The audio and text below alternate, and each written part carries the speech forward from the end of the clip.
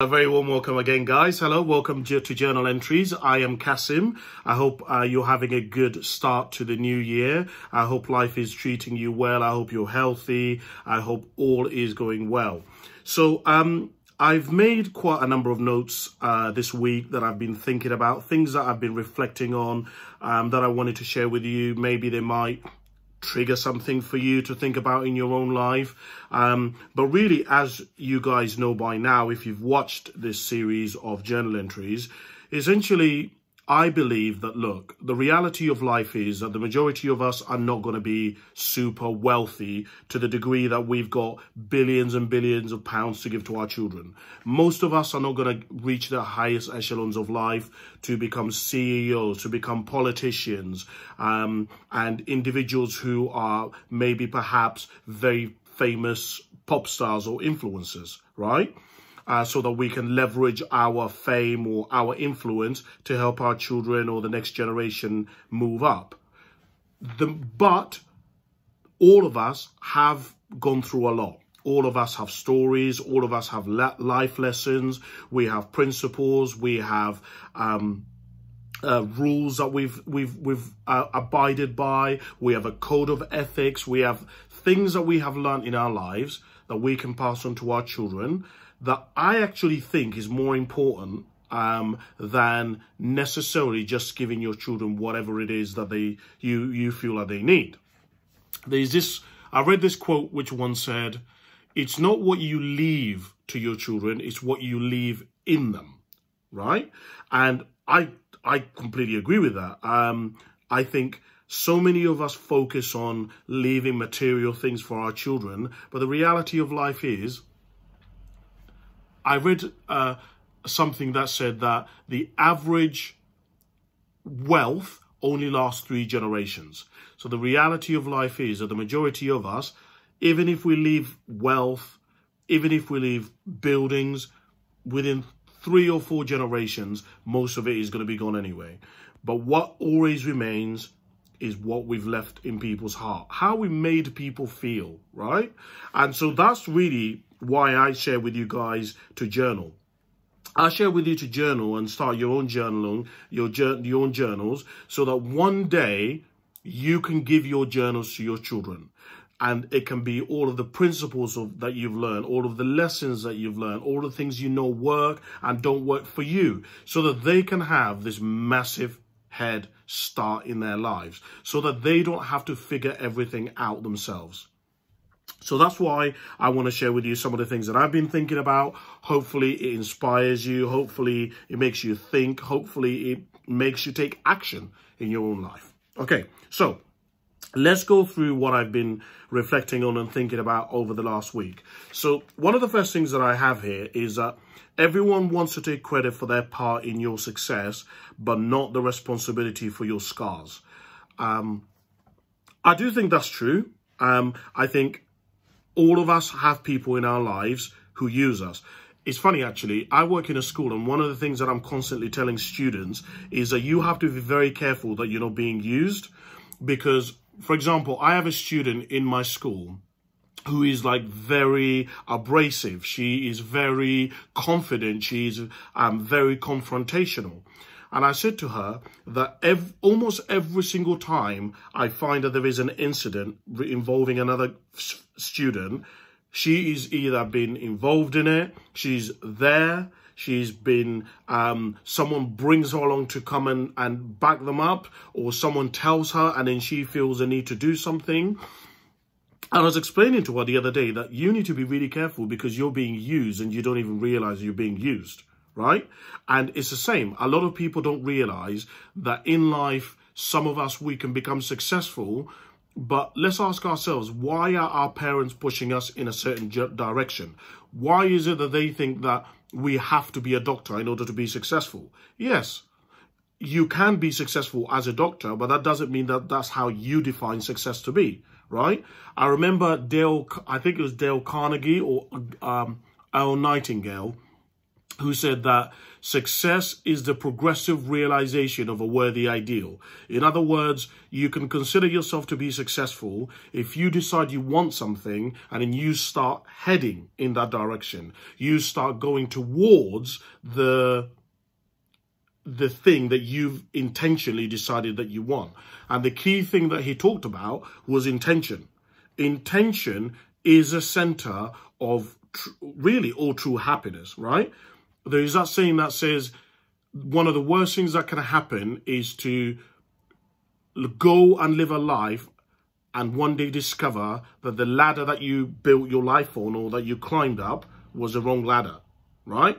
Um, and it, it, it's, you know, I, I, have said to people before, and it's something that I've said many times in my videos, we, I believe that we all have what I call the two colors. So we have the color, which is the color that we have to show the world. And then we have what is I call the our essence. So the color that we have to show the world is can be like blue, which is essentially a color where, look, the reality is if clearly you're going to be going to your work a Christmas do, you have to behave in a certain way, right? if you are around, if you're going to meet your girlfriend or your boyfriend's parents for the first time, you kind of need to behave in a certain way, right? Now, some people may say, well, why should I be fake? Why should I pretend to be something I know I'm not? Well, life is this kind of dance between these two colors, between being authentic to who you are, but also going along in the world. Because I remember listening to Jordan Peterson, and Jordan Peterson said something that I'll never forget. He said that as a parent, your primary role is to ensure that your child is liked by other people.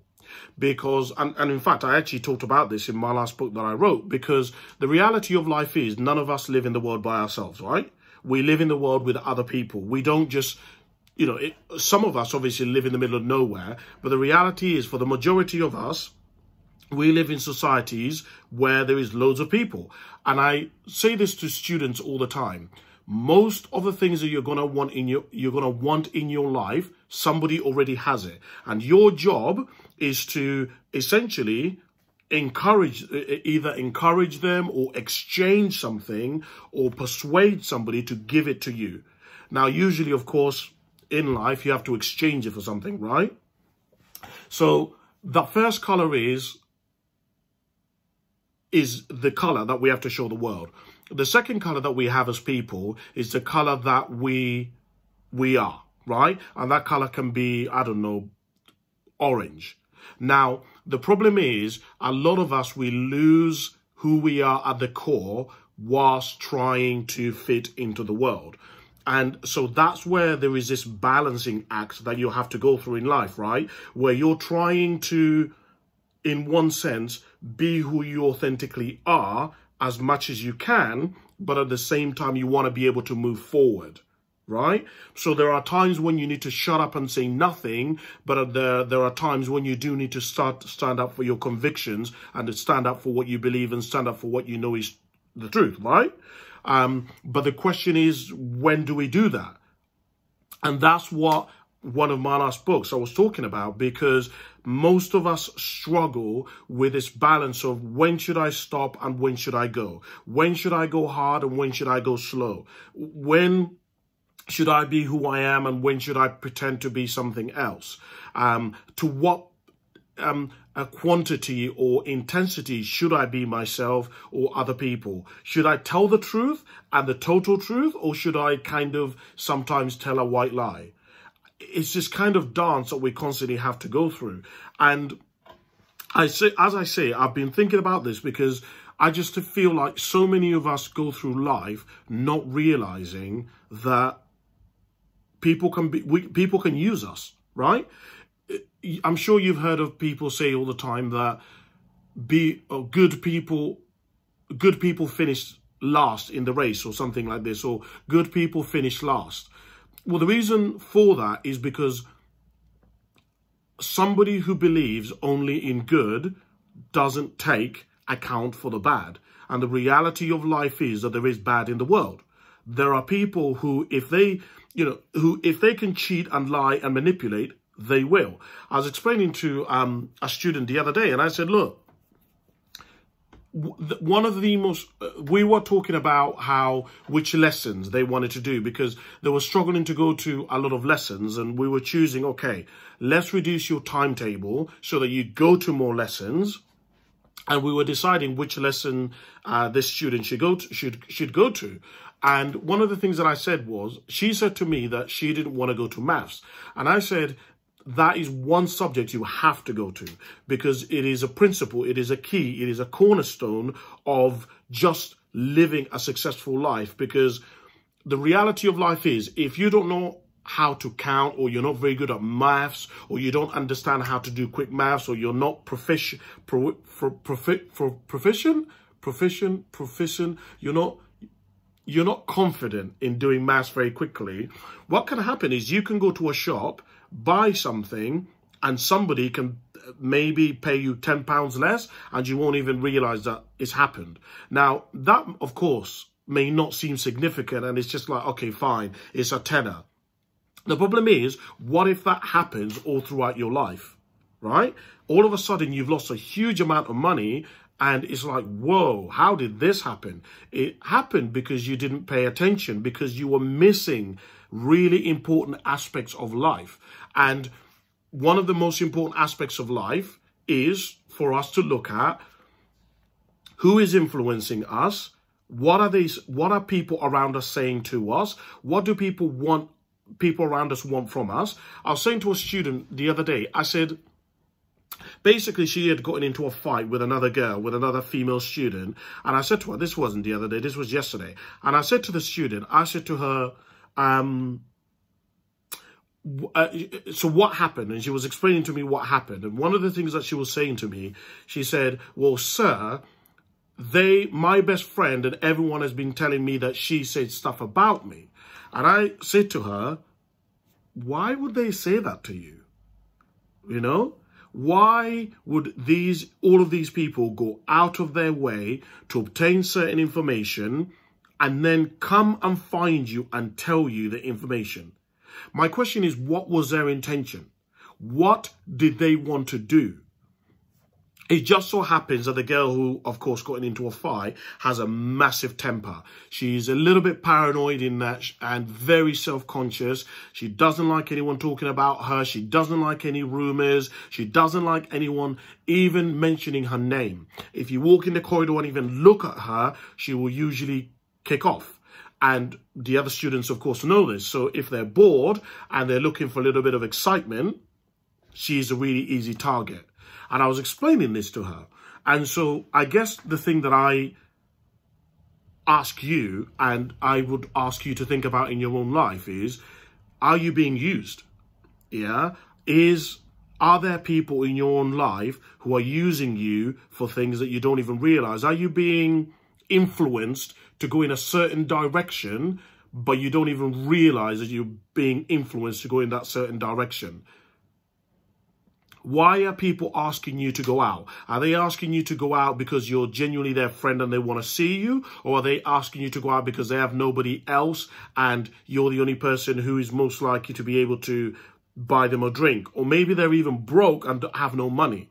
It, it's like, I know this sounds terrible to say this, but this like if you look at uh, the arc of somebody's life it is very very very easy to live a life where you get to the end of that life and you're like where is my uh, when when will I get my thing? When will I win? When will I, when will it be my turn to have happiness, joy, laughter, fulfillment? When will that be for me? Um, and I just feel like that resentment usually leads to people being very vengeful, right? Um, or being very vindictive because they're like, the world is unjust, the world is unfair. But they haven't recognized and mastered the other elements of life which exist, which is darkness, malevolence, lying, cheating. All of these aspects of life exist in coexist coexistence with joy, happiness, fulfillment, truth love. They both exist at the same time. I was I, I keep saying this to people all the time. When we're younger or when we haven't developed our consciousness and self-development and ourselves and our awareness of the world and, and, and just how the world functions and how people function, we tend to see the world in black and white right? I'm either the victim and other people are perpetrators. But the reality of life is that's not really how life is. Life is more grey, right? It's there's a lot of nuance in life. It's a lot more complicated than what most of us make it out to be. Situations are a lot more complex. Um, and actually, even with other people, when we're judging other people or we're seeing other people, I think it's really important for us to look at ourselves and say, well, what's their story? What was their intention? What are they, what were they trying to to do. This is something that I've been thinking about for a long time and is is really quite a major problem in the world I've noticed, which is that people just don't have wisdom today. People don't this is my perception of it anyway, and I could be wrong. I've been wrong many times. But today, like sometimes I'll watch a video and I'll read the comments on the video, and clearly you can see that the video is a joke. But the way people take it so seriously, and it's like, dude, come on. Put the context. The person is a comedian. The person is known for pushing boundaries. So why are you surprised that they're, that, that they're making such a joke? And if you don't like the joke, just click off it. It's not a big deal. And I just feel like today we're living in a world where a lot of people are just, I don't know, like they just don't have an understanding of how people work, why people do the things that they do, when they should just shut up, when they should just ignore things. Um, I think people make situations bigger than what they are. I could I could be wrong, but I just feel like so many of us are being hindered in life because of just we're just we we're not prioritizing the right things. I don't know. I could be wrong, but that's just my perception of what I've realized. Um, comment below. What, what do you think? Do you agree? Do you disagree? I'm always interested to hear other people's perspectives. Look, I'm, I've always said to you guys, I'm not an expert at anything. Okay. I'm not even an expert at myself, so I can't be an expert in anything. But what I can do is I can share with you what I believe to be the truth based on principles, keys, um, and lessons and perceptions and um, and understanding of things that I have read. It doesn't mean it's a truth. You know, I've said to you guys on many occasions, and I said this in my first book, that there are two types of truths. There is a truth and then there is the truth. A truth is um, your perception of something, right? So meaning me and you can be at a music festival and it's raining and there's a Metallica's playing. You can be having a great time and I can be having a really crap time. The question is, which one of us is right? The answer is we're both right. It's just that we're seeing it from different angles. And then on the other side, there is the truth. The truth is, and is incontrovertible. You can't argue with it, right? And the easy example I give people is gravity. Gravity is the truth. Meaning, if you go on top of a building, irrelevant of whether you're a nice guy, you're a kid, you're in Africa, you're old, you're Muslim, you're Christian, if you go on top of a massive building which is really high and you jump off it, I can assure you, you're never going to fly. Okay? You're always going to go down. We all know that. It's incontrovertible. Now, usually when I say this kind of stuff, people try to get clever and they're like, well, what if there were, what if I had wings? What if I had um, some sort of power parachute or something? Well, now that's different. We're not talking about that because now you're changing the uh, the the game that we're playing or the the the the, the situation that we're talking about. So, yeah, I I don't know. It's just right. Comment below. I, I'd love to see what your thoughts are on that on that what I've been thinking about, but it's just something that I've, yeah, it's just something that I've been reflecting on a lot recently.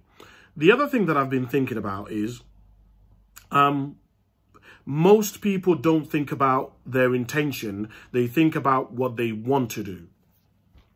And again, this kind of links into the first thing that I've, I, I kind of was thinking about. I think so many of us in life are so unconscious we are just coasting through life. We're just doing, going through the motions, what do we, some people call it? The rat race. We're just doing things over and over and over and over and over again. And we've never really taken time to stop and reflect. I said to a student yesterday, she um, had come into my office and she was a little bit stressed out and um, there was a lot of things going on in her family and there was she said that there's a she says that she feels out of control. And i said to her have you been journaling? Because i've said i say to most students who are going through a hard time journal write the things that you're going through down and um, she said yes sir i've been doing that and i said okay so that's the first level the second level is to um, actually look back and reflect on what you've wrote down. Meaning a lot of people, like back in the days when I first started journaling, I would just write things down and I'd never read it again. But now I'm at a point in my life where not only do I write something down, but I go back and reflect on it and think about it. In fact, me doing these journal entries with you guys is a way for me to reflect. It is a way for me to look back on what I wrote down and and look at it and uh, what did I mean by that? Where was I? Uh, why do I think like that? Which kind of leads to the next stage, which is breaking it, uh, analyzing it and breaking it apart, which is what I, I said to her. I said, if you really want to make, take back the control in your life and try to focus on the areas that you can control, You've got to start breaking the different aspects of your life down into pieces. And then you've got to start analyzing them. You've got to start asking questions like, how is this happening? Why is this happening? How can I stop it? How can I change it? How are other people dealing with the same situation? Is this new? Is this unique? Are there any principles? Are there any keys? Is there a book I could read on this? Is there anyone who can support me? Um, do you see what I'm saying? Like, you've actually got to be active about life. And what I said to her yesterday was, I won't say her name, so let's use, I don't know, Crown. Let's say her name was Crown. I said to Crown, I said, Crown, one of the things that I have learned in my life is that life seems to grow like become successful and you people seem to have momentum and we seem to move forward in life when we put more than 60% of the responsibility of an area in our control. And what I have found is, and this is this is example that I gave her, what I have found is that most people put about 80% of how things they like the the responsibility of how things work out on other factors like their boss the nhs their parents and then they want to do 20% and the 20% that they are responsible for they won't they're not even mastering. They're not even activating and operating in the 20% at like 100% they're actually doing it at about 40% um and so what i I have learned in my life, and the example that I gave Crown yesterday, is I said to her that, look, I remember one time I broke down in my car, and when I broke down, I stayed in my car and put on my hazard lights. And people were driving past me, and they were so angry, and they were so frustrated, and they were really pissed off because I just sat in my car and I had my um, hazard lights on. And I remember uh, this I, I brought down again in the same car another time. But this time what I did was I got out of my car and started pushing my car. And something fascinated, fascinating happened. What happened was that people stopped their cars, got out of their cars and started helping me to push my car. And I reflected on this because I was like, well, that's weird why would people get out of their cars to help me when I'm trying to push my car? But before when I had broken down, nobody stopped to try and help me. And what I realized was that, and this is one of the keys that I've realized about life, is that if you start and you start moving and have momentum and you do your bit to the best of your ability, life activates something. It activates, I guess you could call it luck, you could call it coincidence, you could call it grace. I don't know what word you want to use, but something happens when you start taking responsibility for your life, when you start moving forward with your own life, when you start actually operating and doing the best that you can do. something happens. I don't know what it is. Don't ask me because I don't know what it is. But I, it, it, it is something around this luck thing. Um, and I've just realized that in life, a lot of us aren't putting in 100% on the areas that we can control, right? And part of that is because we're not focusing on those areas. We are, uh, we're not paying attention to those areas. We are, um, we, we don't even want to see the areas. You know, I say to people all the time that if you really want to improve something, you've actually got to look at it. I remember when I was in debt, one of the first things that helped me get out of debt is I started opening all the letters where I'd been sent letters from the bailiffs. Because then I actually knew how much am I in debt. You know, and if you don't believe that you are somebody who doesn't like to live in denial, let me ask you a question. Most of us have apps, uh, like banking apps. Have you set up your banking app to send you alerts every single time that you spend money? When you go to um, to buy something, do you put your card into the machine or do you just tap it? When you do you check your balance of how much money you have in your bank account regularly? I know that sounds, you're going to be like, well, Cassim, that's such an easy example and it doesn't really mean uh, anything. I agree. It is a very simple example, but it tells you something. It doesn't tell you everything, but it tells you something, right? About the way in which you think about the world. Um, and so, yeah, uh, you know, as I say, I'm just curious about your intention why are you going to work? Why do you are you in the job that you're in currently? Why do you go to the gym? Why are you in the relationship that you're in now? Like you've just actually got to like break this stuff down. You've got to actually analyze it. You've got to look at what do i actually have control of? What am i am i like uh what was it? I was watching a video online the other day um with a guy called Dorian Yates. Dorian Yates is like a bodybuilder. Um, I think he's like a six times or seven times, no, six times Mr. Olympia. And he was training a guy called Mike Thurston. And one of the things that he said was, Mike Thurston um, asked him, if somebody is not getting the gains that they want, then what what do you think is wrong? What are they doing wrong? Like why are they? If somebody's going to the gym and eating properly and um, and they are going to the gym, why are they not getting gains? And he said, and I I found this fascinating. He said, well, they can't be doing it. They can't be doing everything correctly because if they were doing everything correctly, they would be getting the gains that they're looking for. They would be making the progress that they're looking for, right? And I remember this is actually one of the biggest... this is what, now that I'm thinking about it, this is why I connected so much with what he said.